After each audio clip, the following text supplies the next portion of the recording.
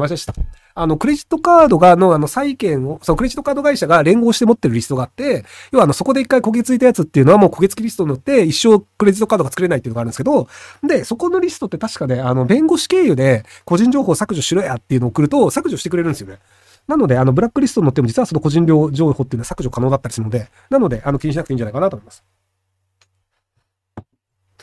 えー、最初、あ、CIC、それ、はい。えー、最